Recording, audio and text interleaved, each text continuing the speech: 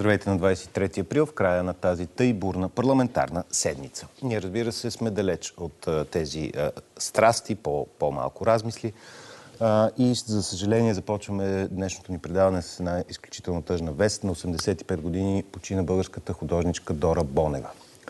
Тя завършва художествената академия в София при професор Дечко Озунов. Нейни картини присъстват в сградата на ЮНЕСКО в Париж, в много галерии и частни колекции в цял свят.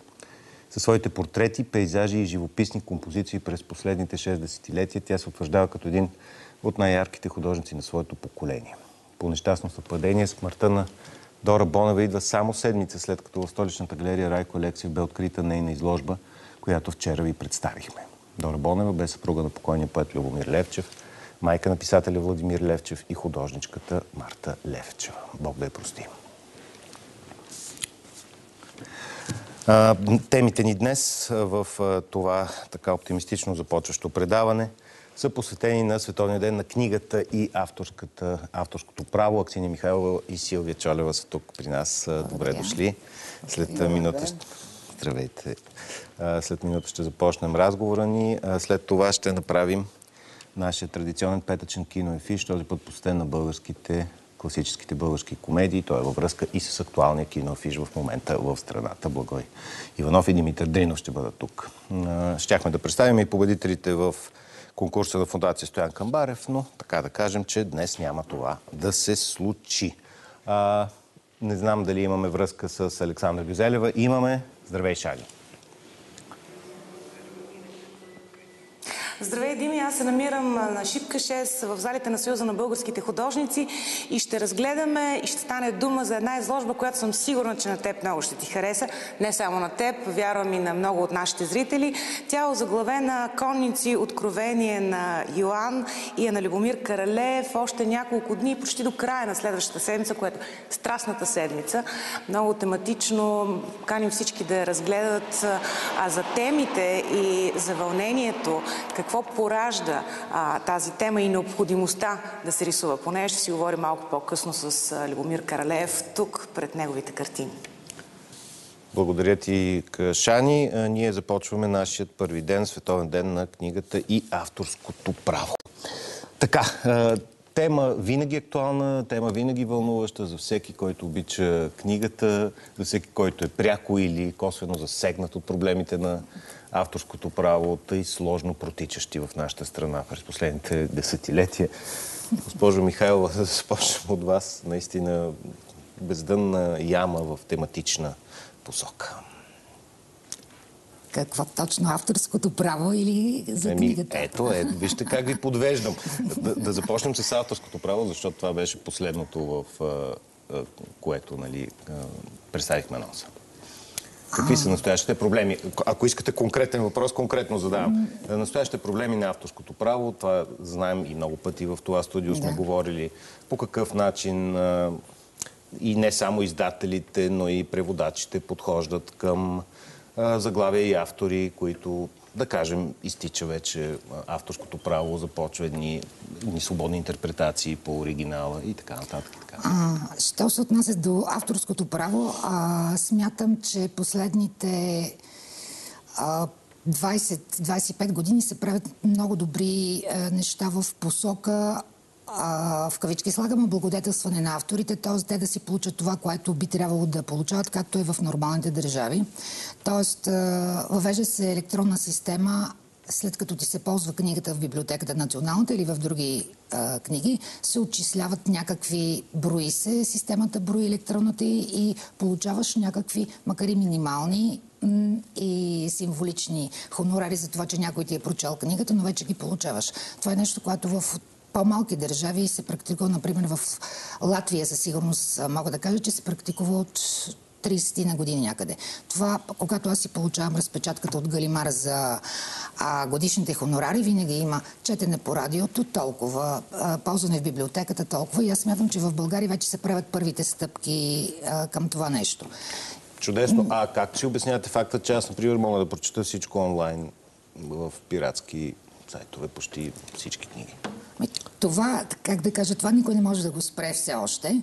А е въпрос на, на морал, от който страдат и много, и много и от авторите.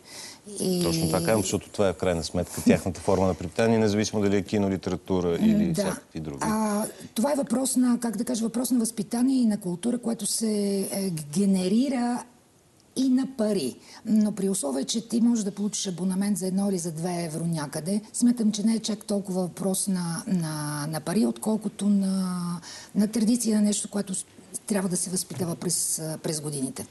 Да, но някак си витае тази традиционна българска мъдрост, шамар да е ванта да е. И а, независимо дали е евро или 10 рупи, а, хората масово ми, се ползват свободно. Да, ми, мис, мисля, че, така, мисля, че трябва, трябва още време, за да се... Е, за да се преодолее това нещо. Все пак ние сме една млада демокрация 30 години. Хората, които имат демокрация примерно от 150 или стотина години, малко по по-друг начин подхождат. И, но, но мисля, че е, е, е по-скоро и въпрос на, а, на наказания, отколкото на, на, на добра на съвест и на, да, на контрола по-скоро. Отколкото не случайно започвам Световния ден на книгата и с Гоша Михайлова не за книгата, книгата, а за авторството, защото а, това е нали, една от най-важните теми в крайна сметка, свързано с съществуването на фигурата на, на автора. А, да. И когато той е лишен от права или правата му са затруднени или не е достатъчно подпомогнат в това да твори, точно така, защото в крайна сметка той получава някакъв хонорар, който никога не е достатъчен, разбира се, спрямо огромното усилие, което е положено. А след това неговия труд много често така бива разпилян в тези авантаджийски схеми. Да, и не само това, самия факт, ето примера, който даде Аксиния за Латвия, че там от колко години това съществува, пък тук те първа ще става. Аз искам да го видя като стане и тогава, но Аксиния е така по-оптимистично настроена. Да, изключително, но това е прекрасно. Не, не, това е прекрасно, Просто с шефката на, на авторските права на Латвия се разхождахме веднъж в Венспилс и тя минава покрай, защото за мен това беше непознато. Минава покрай едно заведение и казва, ага, тези са добри плаци и тези си плащат. И аз казвам, мина се, какво става? И тя казва, всички тези плащат за музиката, за излъчване на всяка една песен, за четене на всяко едно стихотворение. Абсолютно всичко е уредено. Беше 2007. И да, 2007 беше. След. Минали са. Да, доста години. Това искам да кажа, че тук нещата стават много бавно. А, когато става дума за книгата изобщо, а, някакси се забравят, а, забравя се целият процес, като че ли. Откъде тръгва и докъде стига книгата, пък да стигнем и до а, тези отчисления за а, авторите, които са нещо, което те би трябвало да се подразбира по закон да го имат. А, книгата тръгва от пак от този автор, т.е. завъртаме кръга. Книгата трябва да бъде написана. И а, напоследък, така, като идвах насам си мислех, че много ми е важно да кажа. Напоследък а, някак си а, изглежда, че книги лесно се пишат, лесно се издават. Да, точно това е мнението. Някак си сядаш на компютъра, трак, трак, готово, хайде, издателя, плащаш си, примерно, някой така. Е, има доста, разбира се. Правят. Плащаш си и си издаваш книгата. А, не говорим за този модел, говорим за другия. Когато книгата е един труд, а, както а, казваше поета Иван Теофилов, преди време миньорски труд. Да. Тежък труд. Самотен, тежък миньорски труд. Труд, труд който не се вижда. Той няма нужда да се вижда. Но все пак нека да знаем и нека на този ден и това да си кажем, че а, книгата не се създава лесно. А, не се издава лесно. А, после трудно се разпространява. Говоря за тези книги, ето сега Аксиния държи а, своята книга а, на френски. Да. А, говоря за тези книги, които носят смисъл. Защото има и една вълна на, на издаване на една книжнина, и казвам аз, не книги, която така бих казала, че е по-скоро развлекателна, отколкото осмисляща. И самозадоволяваща в голяма степен, нали, функции но, изпълнява. Но, но нека за другите книги да говорим. Да, да, за Иска ми се да кажа и, и това, че а, не бива да забравяме а, сега, а, всеки си говори от камбанарията, нали, а, за малките. Малките издателства, малките книжарници. А, това е някакво биоразнообразие. Ако ги няма, а, Цялата верига закъсва, да, естествено. и, и, а, и нека не забравяме, че един а, малък издател може да си позволи да издаде а, книга, която по-трудно ще се продаде, като една стихосбирка, например, но той я издава и това също е влог в националната култура. Защото там а, имате автор, имате, може да има преводач и така нататък. Тоест, Цял екип от Цял коректори, екип. от Обикновено оформители, екипа дизайнери. на малките издателства са 3, 2, 1. Понякога и един човек. Без офис, често пъти, с трудно разпространение. А, смятам, че когато говорим за четенето, за книгата и така нататък, така по-наедро, тези неща остават страни, забравят се. Някой може да дойде и да те потупа така по рамото и така, браво, бе, ей, ти как не си фалирал до сега? Ма чакай, ние сме... Даже защо не си фалира до сега? Има и очудване, то- Има да. нещо, има нещо, което аз смятам, че, а, а, че, че зрителя и потребителя на книгата не знае. Значи, за да се издаде една книга, ти сключваш а, а, договор за авторски права, които варират за западните издателства между 500 и 800 евро. Значи 500 са стихосбирките, а 800 до 1000 евро е романа. Значи ти вече предварително си издателя е вложил тези 800, а, 800 евро, след което плаща на преводач, плаща се на коректор, плаща се да се изготви корицата, плаща се за печатница. след Печатница, което хартия, така, ужас, хартия, да. всичко, след което се отива в книжарницата и книжарницата вземат там тези 30 или 5, 45%. И накрая за, за горкия издател, аз просто не знам какво става, но всички тези неща са невидими. И една стихосбирка в колко тираж трябва да бъде издадена и с каква цена, само си дайте сметка, само правата за да се платят, те са 1600 лева. Значи колко книги задължително ти трябва да, да, да се продадат от една, за да платиш само правата. Не говоря за никакъв труд останал. Но това, това е невидимо. А, а, читателя, като отиде в книжарница, той гледа само една книга, избира се, по бършо взет и каза, 15 лева скъпа ми е. Или 20 Или лева как скъпа е, ми е. Да. как е издадена, не ми харесва как е издадена, защото на по-ефтина Ами, хартия. да, и- Тоест, читателя също принцип. има своето право а, а, да м, изисква да бъде а, качествено издадена, да бъде стойностна и да не струва много, ако е възможно.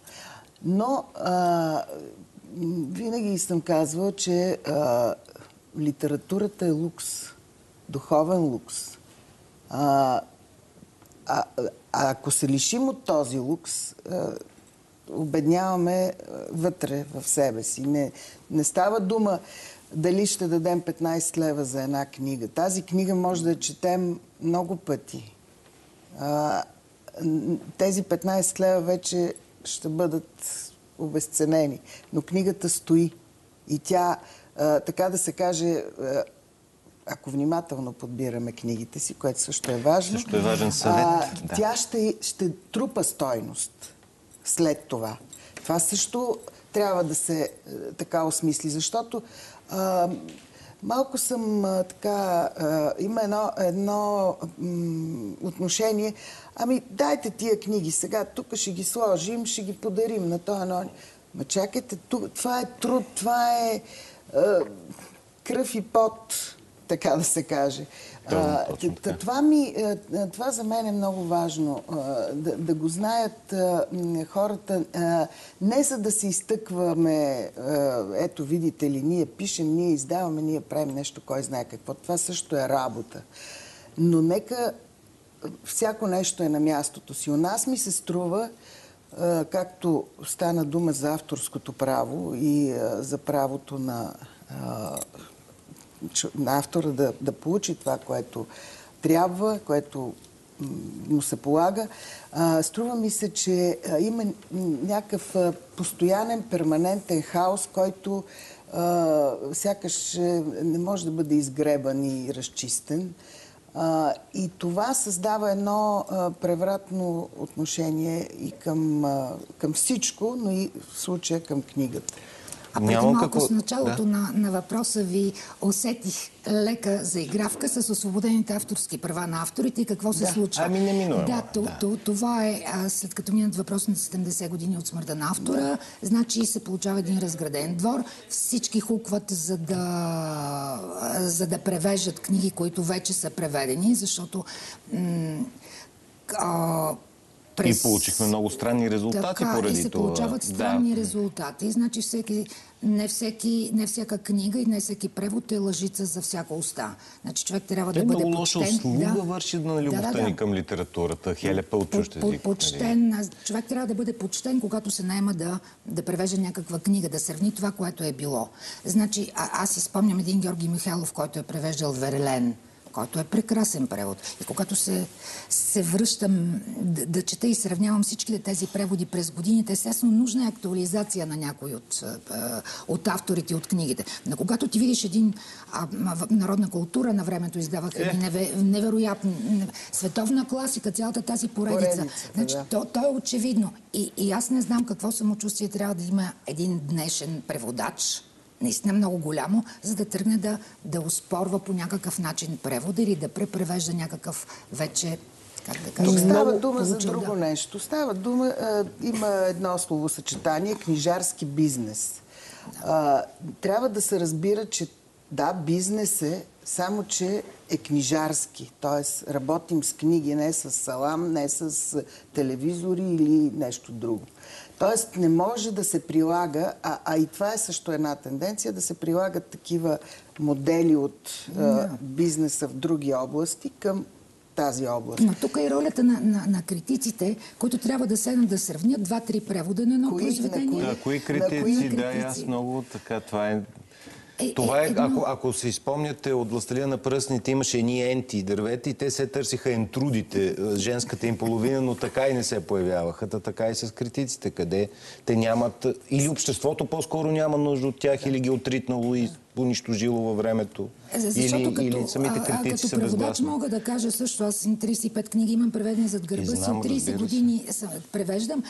Значи, преводача, когато под, подходи, казвам пак, като, към някоя книга, трябва да бъде почтен към текста. Ако не му се отдава да я преведе, трябва да каже, отказвам се, не мога да го направя. Това нещо. А, Вие започнахте още и в свободното четене с почтеността, продължихте и с текста. Е, Разбираме, че това е трудна категория. Така, този хърдъл много трудно ни се да. получава. Моля ви се, разкажете ни за книгата, която сте донесли. А, за... Рязък преход. Да, да това е. това е да. книгата, ако се вижда. Вижда се. А, най-напред ще тръгна от колекцията, защото малко се знае за тая колекция. Създадена е 66-та година, публикуват не повече от десетина книги годишно там. А, това е така наречените Ливро де Пош джобен формат издания и целта им е да първо да са по-ефтини, по-достъпни за студенти, за широка читателска публика и тя се формира на вече издадени... А... Виждате колекцията, да. казвам на нашите зрители. А, да. Вече издадени книги от, или от самото издателство Галимар, има там а, колекция, която е Бланш, Метаморфози, още една, вече издадени книги, които са или ако са харесали автора, вземат правата от а, някое друго издателство, където са публикувани. И първоначално в... А, а, е била посветена на поезията на 20 век, европейската поезия. А в последствие 70, 71 година правят някаква, а, някакво преустройство, оформя по този начин с влияние на Анди Уорхол, такава леко да е, е, да, е, да е живописно, да е игриво и динамично самата корица. Напомня ми изданията поставя... на Лик на времето също, а, нали, защото е по-джобен формат.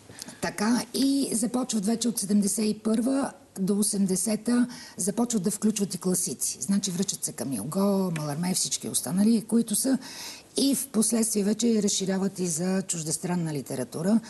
И а, а, аз погледнах всяка една книга номерирана. Аз съм 560 брой, така че сметнах за от 66 година до 2016 и, и до сега. Горе-долу по 10 книги излизат. И там са... И това е една прекрасна война. Именно в Деня на книгата говорим за преодолени препятствия и непреодолени такива е, такива новини наистина сгряват душата на истински Вярно, любител. освен всичкото и леко а, ме стяга душата, защото авторите, които погледнах, ами аз в Софийския университет съм държала на половината от тях изпит по западна европейска литература и от това как ще ги интерпретирам и какво ще предам евентуално в, а, а, по време на изпита пред професора, ми е зависело бъдещето. Поздравление от сърце, наистина, и целият ни екип ужасно се радва от това. Госпожо Чолева, Последни ами думи се... по темата въобще да ги... Аз се някак... замислих само да. скобичка да добавя. Замислих се е, кога в... Да, ще стигнем 500 и кой каза? И 60. И 60. Е, ние за сега сме 60. е, нищо, нищо, да. Какво да кажем за финал? А, значи, а, банално е, обаче... А, книгата е, може би, по-голям приятел на човека, дори от кучето.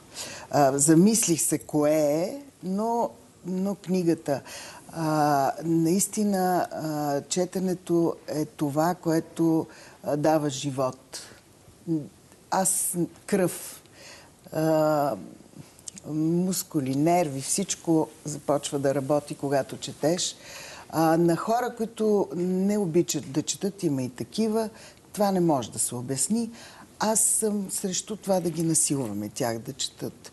А, можем само да ги приласкаваме. Ако Разбира може, се. може. Разбира Ако не... С окроце, с облаго да. и без кютек. Без този малко, не, не, не. кютек. Много ви благодаря, че бяхте наши гости. Между другото, ние от известно време сме по БНТ едно, но така както се казва и парламента дори слага край в някакъв момент. Но, но ние продължаваме да... Но книгите никогаш. Благодаря ви, че бяхте наши гости и сега се връщам отново при Александър Гюзелев. Дими, в залите на Шипка 6 вече обяви как се нарича изложбата Конници и откровения на Йоан. Можете да видите още само няколко дни. Днес, утре, вторник и сряда. Но пък точно преди Великден и точно в дните на Страстната седмица, които започват от понеделник. Любомир Карлев, професор, Любомир Карлев, преподавател в Националната художествена академия, е създател на тези картини. Това е тема, която вие казвате, по която не можехте да не рисувате. Тя ви вълнува. Знам, че много изговорихме за пандемията, за страховете ни, за страховете от смъртта, от болестта през последната година. Но всъщност, вие казвате, че това ви вълнува от 2018 година. Кои са тези световни пък и тук наши събития, които ви насочиха към тази тема? Разбира се,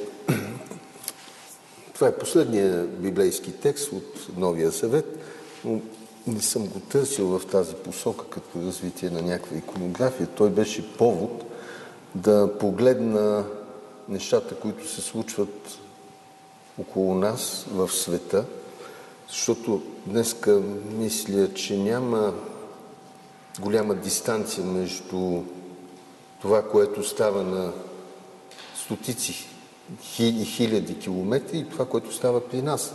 Тоест, тези бежански вълни, които преминаха континенти, които минаха през морета, хора, които търсиха обетованата за тях земя и всъщност намериха смъртта си. Болестта, която дойде при нас и която взима своите жертви. И всъщност това време, ако го погледнем отстрани с е, снимките, които виждаме на и кадрите от бомбардирани села и хора, които умират, всъщност това си е един апокалипсис. Може би ни се струва, че, че той е далеч от нас, не се отнася до нас, но всъщност е за нас и, и в не знам нас. колко близо може да се окаже внезапно. А, това е което ви вълнува и всъщност казвате, че тези картини са реакция на всичко, което достига до вас като информация и вие емоционално реагирате на него. Сега, разбира се, един човек ще почувства нещата по един начин, друг по друг, реакцията ще бъде различна. Е Един ще отиде а, да протестира пред Народното събрание, друг ще протестира пред Статива сега. Но Отговорът е различен. Въпрос е да има реакция, да, да е живо съществото и човека в тебе. И да, си чувства. мислиш. И, да, чувстваш. мисли. А в момента нашия оператор Иван Ненков показва вашите рисунки. Тук е началото на изложбата.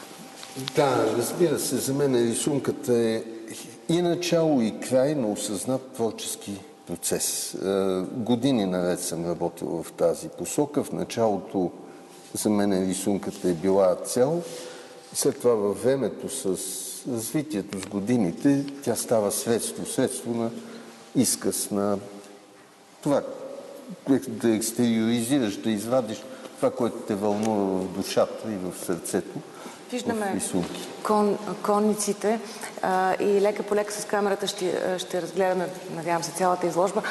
А, колко подготвителни рисунки имате?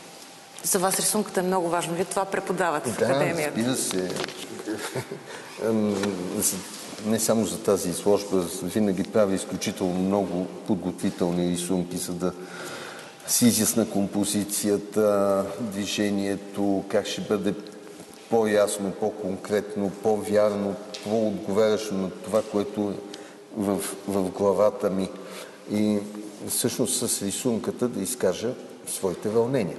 И да ги споделя с другите, пък и дано реципиента, този, който гледа, да бъде а, със същата емоционална реакция, която влагам аз. Да усети същото. А, рисували сте върху различни материали, хартия, платно, дърво. Воювахте ли с някои от тези материали, както конниците се гърчат, препускат, воюват като един с друг? Ще видим след малко и войната на конниците. Сега, разбира се, за тази серия използвах и плоскости, които са от дърво, за да мога да прогоря части, да елиминирам части, да се съсредоточа върху определено въздействие, което ме вълнува и по този начин да се получи съответния драматизъм в работата. А това, което показва в момента нашата камера е войната на конете. Още един цикъл тук представен в, като част от изложбата. Разбира се, това също е цикъл, който много ме е вълнувал. В края на краищата това превопасно животно да поставиш такива условия, че да полудее и да почне да се разкъсва и самоизяжда, не е добре в края на краищата. Това е някакво отражение на Кога ги рисувахте? В, в света. Рисувах ги а, 20-та година, някъде по това време към лятото, пролет, пролет лят, начало на Миналата лято. година, да, точно когато започна пандемията или вече беше започнала и така. Да, да, определено. Това са рисунки от изолационна среда. Това е а, едно от нещата, които е повлияло на тази война. Конете, се, разбира се, и това, което нарисували. вижда човек, а, което му поднасят камерите, които са разположени в целия свят. Затова казвам, че всъщност ние не сме изолирани, ние сме свидетели на това, което става на хиляди километри и то е, то е в нас, с нас, преживяваме го. Дори да се правим, че не ни вълнува. Добре, всичко ни вълнува и се надявам и да продължава, защото ние сме така сме устроени да се вълнуваме и вие давате по един много красив начин израз на тези вълнения. Нашата камера, много благодаря на Иван Неков, много бързо премина през изложбата.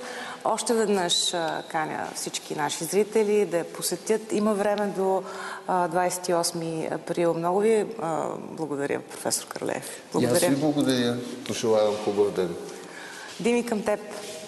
Благодаря ти, Шани. Ние продължаваме с обещаната тема, която вече веднъж пропадна миналата седмица поради поредната доза парламентаризъм в ефира на БНТ 1. А, Но сега сме посветени на българските комедии с нашите приятели Благой Иванов и Димитър Дринов. Той е до голяма степен и тематично предопределена заради миналата седмица. Искахме в края да ознаменуваме група Жиголи, излизането на екрана този нов български филм в толкова трудна обстановка и да направим, както се казва, един пакет, в който да подчертаем колко силно влияние има българската комедия в историята на нашето кино, пък и в зрителския потенциал. Ще свърша и сега да дърборя, преди да направим това нещо, защото, уважаеми зрители, те, почти никой не подозира. Всички си мислят, че най-гледаният български филм е Хана Спарух или някой от или Време разделно, или някой от тези епосите. Но всъщност най-гледаният в историята на българското кино е филмът Хитър Петър, един от първите филми на националната филм, така, кинематография, който е гледан от 4 милиона и половина души. Представете си за какво нещо ние днес даже не може да си го представим. Но така де, свързваме тази тема с група Жиголи. Филм, който, доколкото разбирам, на вас ви е харесал. Да, нали, голям шок. Ние, които по принцип имаме задръжки много и така предразсъдъци дори. Не винаги. Но да, от време на време, когато нещо ни хареса, си го, си го признаваме и в случая е точно така. Всъщност той миналата седмица излезе филма в едно много неблагоприятно време, каквото е сегашното, но смятам, че е добър ход. Много се радвам и пожелавам успех на целия екип на филма. Точно сега е момента да се върнем към киносалоните и въпреки, че има някакви бомбойни конфекции, като Годзила срещу Конки и прочие, смятам, че филма, който наистина може да оправдае цялата инвестиция на време и, и това да повярваме отново, че киното може да бъде смислено изживяване. Това е именно с филма за група Жигули. А, и наистина е филм, който действа добре. Той, той просто, просто, просто ти се отразява добре на, на, на твоя собствен тонус като зрител. А, въпреки, че той смесва драмата с, с комедията, смятам, че е така много, както обичам да казвам, от тези жизнеутвърждаващите заглавия, с много хубав емоционален финал. А, разбира се, аз бях леко притеснен. Ние с Виктор Божинов си говорихме след прожекцията. Аз му казах, викам се, аз не ти казах преди филма, защото не исках нали, да, по никакъв начин да си влияе дори на себе си, но мен трейлера не ме беше спечелил достатъчно. Освен това, този жанр е много подхлъзващ. Ние от 30 години не знам дали сме правили особено качествена комедия всъщност. Ние обикновено отиваме в един такъв много първосигнален трапезен битовизъм на, на, на вулгарния хумор, който според мен работи, пак казвам, първосигнално. Нали? Ако чуем псовня в кинозала, изпадаме в нистов кеф, което според мен по-скоро е симптом, отколкото е комплимент. А, но, Еми, че Лондон имаше успех, е като да, в новото време, като гледаем.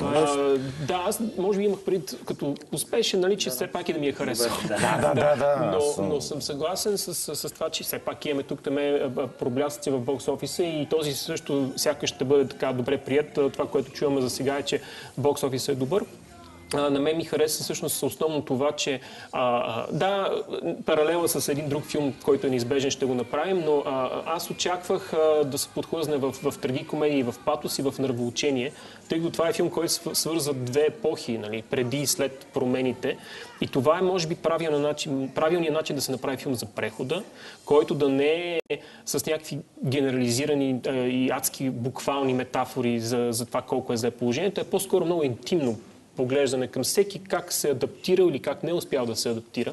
Разбира се, носталгията много силно работи в, в драматургията на филма и а, а, Михаил Билалов според мен е наистина така най-много ми хареса на мен, но не само той, разбира се. И другите са, са чудесни, преобладаващо чудесни. Моята единствена по-сериозна забележка е, че а, филма все пак попада малко или много в, в, в, в някои от клишетата на жанра. Тоест не е задължително след всяка ситуация или драматична сцена да имаме непременно задължителната хумористична реплика. Някои от тези реплики увисваха, но преобладаващо нещата са се получили. Това наистина е една от така, стъпките в правилна посока. Синдринов. Благой толкова изчерпателно каза. Ами, ами той, и... той намекна, ако искате да дайте за не, тези не, паралели, искам, които... Ще, ще стигнем до там. А, а, Просто и две и аз общи приказки да кажа за, за, се за налага, комедиите. Да, на, на, налага се за мен комедиите и детските филми, някои може би смесват двете неща, са ни най-успешните филми. При се, че има страхотни драми, Козия Рок, Авантаж. Няма да ги изреждаме. Лачените обувки имаме шедьоври.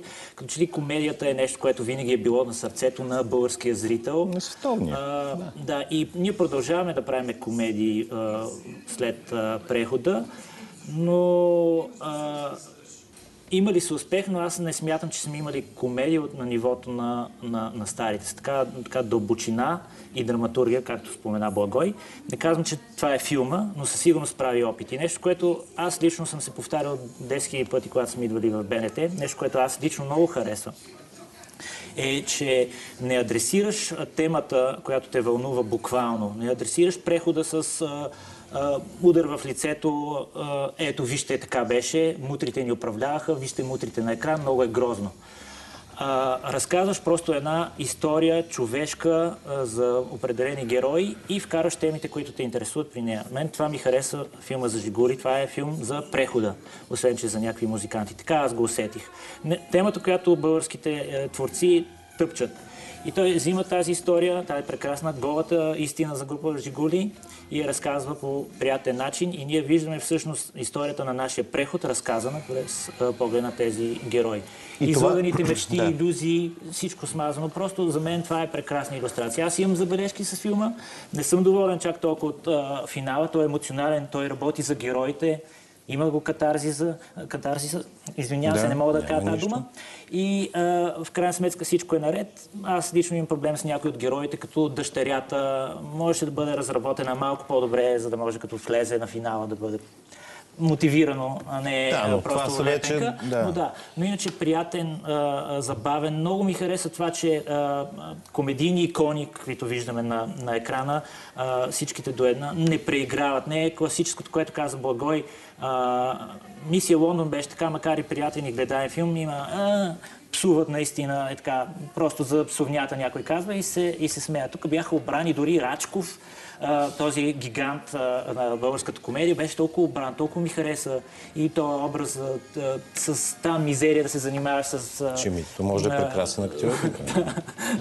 А, и другото, другото да. което е важно да се похвали, нали, ние сме си говорили много път, че основната криза в българското кино е драматургията от една страна. Нали, очевидно имаме а, а, много адекватен подход с, с сценария. Режисурата а, Виктор Божинов вече го доказа с възвишение. Много е хубаво, че е опитал различен жанр, доколкото знам, след това му предстои следващ проект с още един друг, друг жанр, което е много, много хубаво. Аз, Но искам да. да похваля музиката. Просто беше, а, звучеше като наистина истинска група. Дудаков, да, точно гостува да. от седмица, но и не само той, целият екип, който е правил тази музика. Тя е много ключова. Но аз искам да върна към това, което каза, за да преминем и да, да кажем да, някакви да, други неща. А, и веднага мога да кажа оркестър без име, веднага да, да пускат нашите колеги, защото паралелите са учебини, т.е. ако махнем рока, да. а само персонажите погледнем и така преместим действието в, някакви, в някакво време напред. Да. Тоест, искам да кажа не, че някой нещо е, е взимал, но просто драматургичната рамка на Стратиев от Оркестър без име, който е един от най-обичаните български а, филми в новата история на киното ни, просто работи.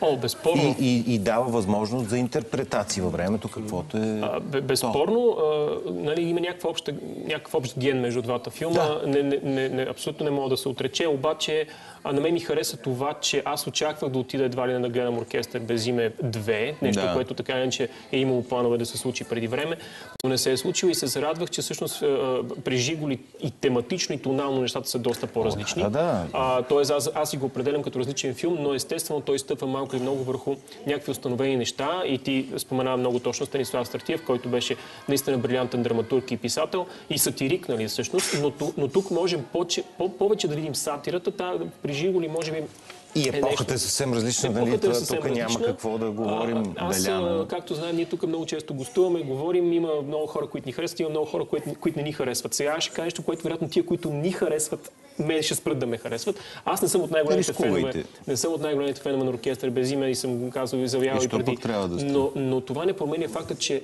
този филм наистина е един от най-обичаните в България. Той работи, той работи не. на някакви Точно така. психологически Може би нива. проблем е, че той, че той работи. Може би моят проблем е, че причините, поради които работи, но всъщност е изключително адекватен филм за своя си жанр. Естествено, просто не е моето. Но нека, но нека... Да, пардон. И аз бях настроен така наскоро го гледах отново и не го бях гледал 15 години този филм Оркестър без дим. Всички знаем, че шедьовър и репликите за цигарите, Кен, за Гоше, стига си бил, са ужасни общо взето това ми остава впечатлението бира, за филма. Да, ти ще ме цакаш топла бира. И като го гледах, всъщност филма е изключително приятен. Много, много неща а, казва за тогава и освен, че казва за тогава и за, за героите. И аз наистина си представям, че Жигули е а, продължение в някаква паралелна вселена. Между другото, в интернет пише каква е идеята за Оркестър без име 2. Може да, да прочетете. Смятам, че това е по-добра идея. Говорихме си в ефир. Оркестър без име следващото лято стават най-добрия оркестър, свират рок, няма значение и това е продължението, като идва а, прехода. А, наистина а, прекрасен филм с а, титанични изпълнения на нашите звезди, които всички толкова обичаме. Наистина си заслужава така хората да, да го обичат този филм и да го харесват. А, вижте, какво, тъй като ние почти изчерпахме времето, аз ви предлагам тази тема или да е зачерп, т.е. да разказваме за класическите български комедии, а, или да някой друг път, но със сигурност искам да ви питам на финал, коя е вашата любима българска комедия, Благой? Уф, много труден този въпрос. Защо да не е голата истина за оркестър, за оркестър без име Жигули? А, комбинация от неща е. Ние също щяхме си говорим за филми като Еми, легенди от Опасен чар, да, и, и проче. Аз харесвам един филм, който не е точно комедия, но е пак сатиричен. Смятам, че има нещо интересно вътре, макар да е леко по-устарял технически. Това е Адил Рио. Ние мислихме дори евентуално да го вкараме в разговора. Е, аз съм го гледал обаче твърдо отдавна, за да мога да съм сигурен дали и сега би ми харесал. Но си спомням, че ми беше много, много, много допаднала тази алегория вътре, което не е много типично, нали, знаеш тук. Точно така. Моята най-любима комедия, даже не, не знам дали е комедия, аз винаги съм го възприемал така, и ми е любим български филм, 13-та годиница на принца. Обожавам го. Братя Мурмареви, Братя просто Мурмареви за пореден са... път, ама те са гениални. И Валери Петров. Мисъл, те... Това е. Нямам а, а, лоши думи. Е, и Георги Мишев, и Георги Мишев. Тотални са най-любимите ми филми. Те са автори. Обожавам го този филм. Фантастика, фентази, кралства, пътуване във времето, в други епохи, поп-културни препратки, Star Wars, създаването на футбол. Няма такива филми. И страхотно авторство в фентазито и в фантастиката да, са проявили да, автори. Да. То е уникално направено. Хващат, е, крадват си елементи от тук, там. Са има е. светлинни мечове, роботи. Обожавам го този филм. Да. Просто и се, всеки път се разцепвам. Аз го слагам в най-любимите ми български е, филми. Е, при все, че да, да го защитавам като нали, наистина мега добър. Аз го обожавам. Не, не, тук говорим за съвсем субективно, да, дето да, където най-много си се радвам. Да. Много ви благодаря. Другия петък няма да на нашите зрители, защото трябва да се уточним. Да, ще се разкъсваме между класическите български комедии и скандинавския хорор. Но това ще оставим за следващия път, но няма как. Да, на разпети петък ще, ще бъде малко по-особено. Все едно. А продължава напред с дигитален портал ViaFest, едно виртуално пространство за представяне на големи имена от световната сцена. Няколко поредни уикенда порталът предоставя възможност за свободно гледане на постановки в областта на съвременния театър, танц и перформанс.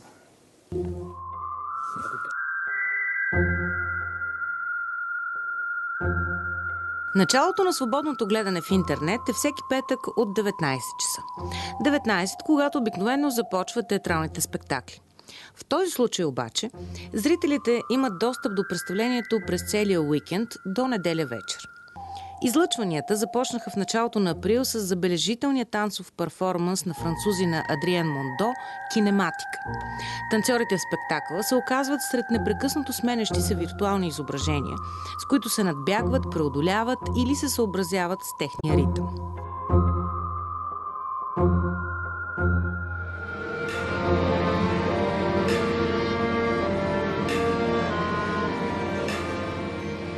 Това дигиталният портал ViaFest излъчи Жизел на Акрам Кан, постановка на английския национален балет. Акрам Кан е един от най-търсените и известни хореографи през последните 20 години. В работата си съчетава елементи от традиционния индийски танц с съвременни техники, а също и теми. Акцентът на неговата постановка е миграционната вълна, а действието на Жизел се развива пред стените на съвременна фабрика.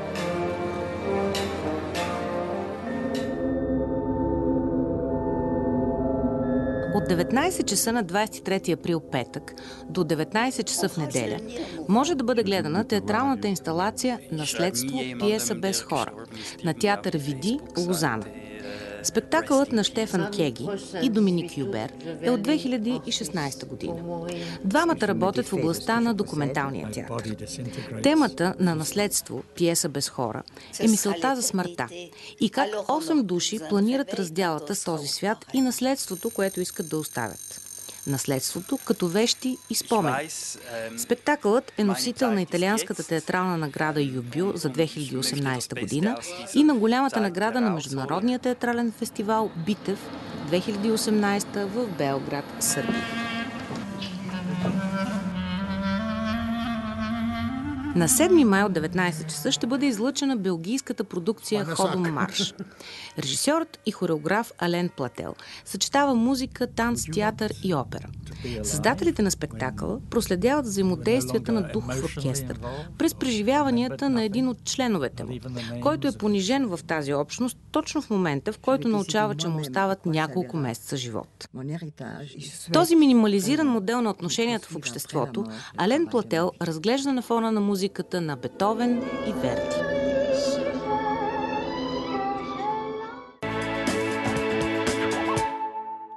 Продължаваме с една покана от Държавната опера в Бургас. Премиерата на балета Жизел по музиката на Адолф Адам, коя, която бе отложен миналата година заради извънредното положение.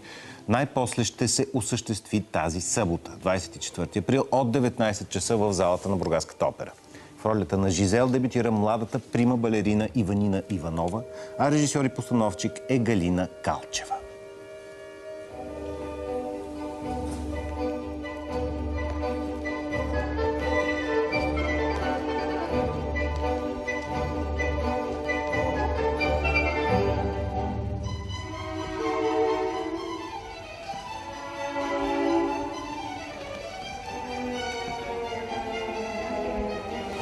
Това беше от нас за днес. Гледайте ни в понеделник, когато ще направим съответният анализ на, на наградите Оскар. Ще представим и започващия по БНТ сериал Порталът. А сега ви предстоят обедните новини на БНТ в ръцете на недостижимата Нора Арсова.